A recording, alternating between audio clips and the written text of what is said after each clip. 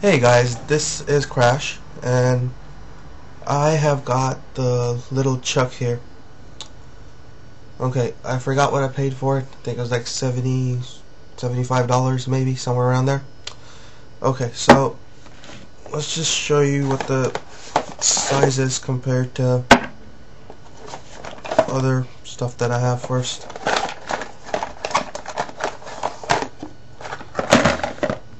Okay, so little Chuck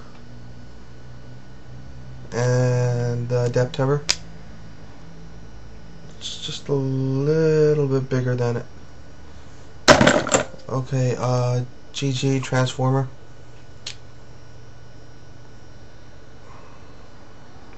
So, it comes up to about the second sleeve on it. And uh, Prodigy. Okay, so that's what it looks like compared to the Prodigy. okay, so the battery goes in the back end over here. So just put the battery in the back like so and you are ready to go.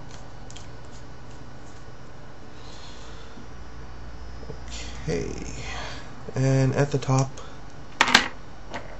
or no some of you guys might own the Prodigy so you can see how it's got a little reservoir at the top to capture all the extra e-liquid that might fall out from the atomizer if you overfill it. So it's somewhat like that in in a sense but it'll it's easier to clean this one because I mean the way it's built you can't really get in here. But really doesn't really matter. It's not that big of a deal anyway okay so that's what it looks like compared to other stuff. Now the chuck itself. Okay. How about I just start with the things I don't like about it first? Okay the switch on it it's got the really small switches. And you know after you keep pressing it for a while like I prefer big switches and when you keep pressing this it actually starts to dig into your finger after a while. After repeated use I believe but I don't know. It's never really been a big deal for me. Whatever. I don't care. And okay I'm using a 510 using a 510 atomizer so I've got an adapter on here too. That's why it's kind of big. It's I think standard they all come with a 901 connection on these. Okay let's see.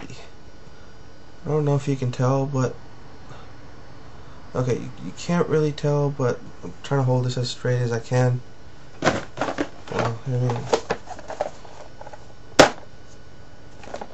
I don't know if you can really tell but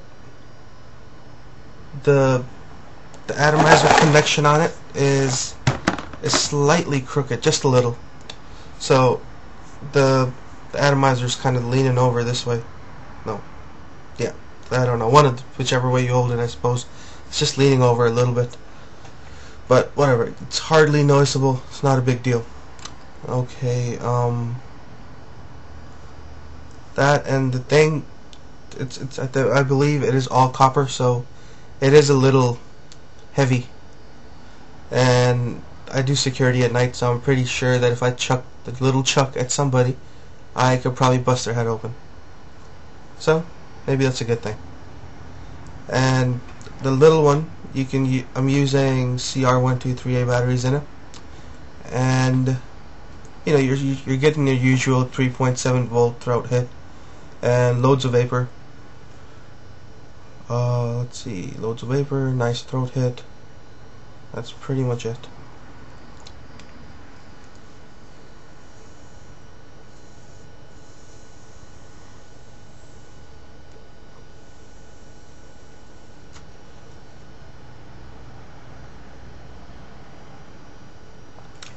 So, I don't know. This is this is value for money. It's inexpensive. It looks good. You can customize it because Jeff, the guy that's making these, he's he's been customizing them, them for people, which is really nice of him. So I mean, you can get it any way you want. for the most part.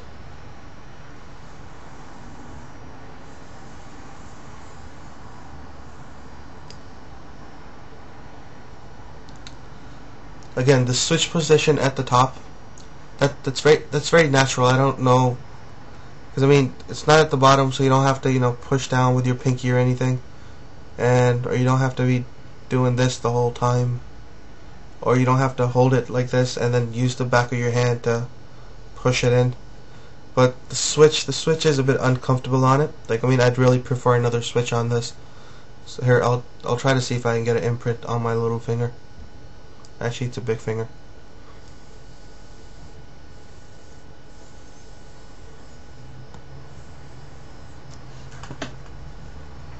Okay. I don't... Yeah, it's not... Can you see it's like a little red dot on it? I don't know, maybe you can tell. But, since the button is...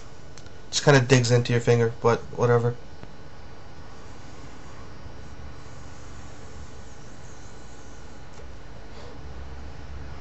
That and the thing is really well built. I mean you could drop it and you could pick it back up and I'm sure you'd be good to go again.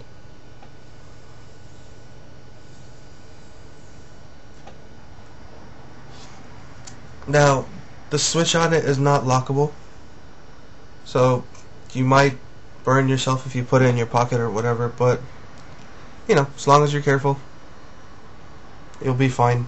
And you are, like, I believe it's good value for money. But that's just me. You know, someone might think it's too expensive or it's not well built, but that's their thing. But I like it. And I don't know, there's really not much else to say about it.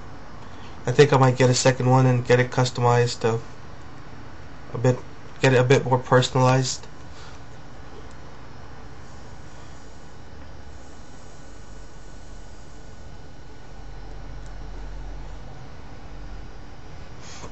So yeah, there you go. Um, this is Crash, and I wasn't drunk this time, so this review is going back up now. And I'll catch you guys around the forums. Take care.